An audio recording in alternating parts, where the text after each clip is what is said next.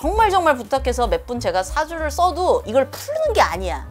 써놓고 보고 말하는 거지. 그러니까 사람이 없어도 사주가 있으면 전 볼 수 있는 거지.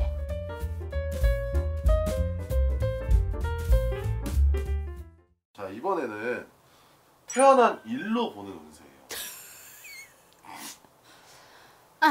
태어난 일로 보는 운세인데 네. 뭐 끝자리가 1인 사람, 끝자리가 2인 사람, 끝자리가 3인 사람 많잖아요. 11일, 11일, 1부 0부터 9까지죠. 그쵸 0부터 9.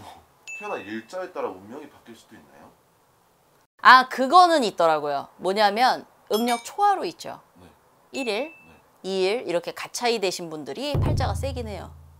그러니까 강한 강하다고 표현을 해요. 신의 기운이 강해요. 그러니까 한 자릿수인데 앞쪽으로 되신 분들이 있어요. 예를 들어 10일까지, 20일까지, 30일까지면 앞이고 가운데고 후반이잖아요. 네. 그쵸? 어, 신의 기운이 높으신 분들이 이렇게 앞에 초반에 있는 경우가 있어요.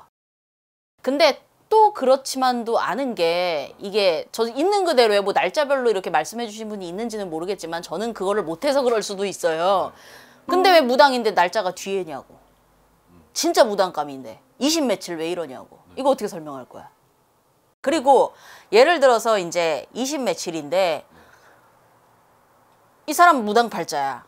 이런 사람도 있고 24일이야. 예를 들어 9월 24일이야. 네. 이분은 제자 팔자야. 근데 어떤 분은 제자를 못하게 조상 영향을 많이 받아서 힘든 팔자야. 있단 말이에요. 그러니까 며칠은 어떻고 며칠은 어떻고 이럴 수는 없어. 근데 제가 단지 갑자기 이제 딱 썼을 때 신사주네? 딱 이렇게 나올 때가 있어요. 네. 그게 이제 거진 앞쪽에 있는 경우가 많다 이거죠. 이 말은 지금 어쨌든 간에 결국은 숫자를 못 본다고 날로.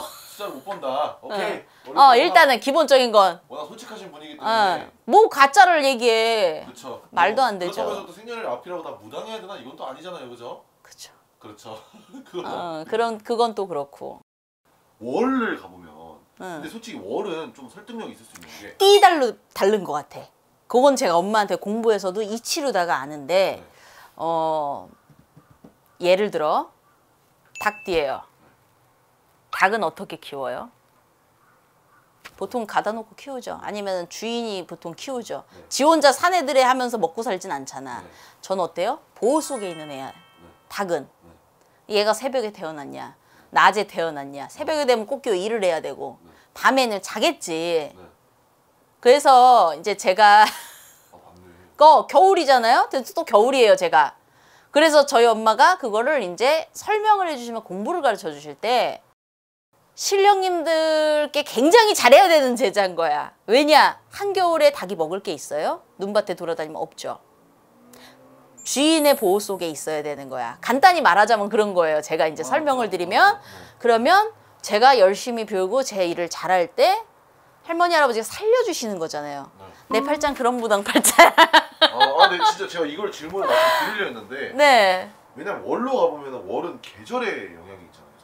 예, 맞아요. 그렇죠. 월은 계절에 분명히 영향이 있을 거니까 사실은 뭐 예를 들어 저는 소띠인데 10월달에 태어났어요. 네. 소는 겨울에 일을 잘 안 하잖아요. 맞아요. 그래서 뭐 나는 게을러야 되는 뭐 운명이다 이런 것들. 가을엔 일해요. 그렇죠. 그리고 몇 시에 태어났냐도 중요하고 네, 사람들이 그런 걸로 이제 볼 수는 있는 거죠.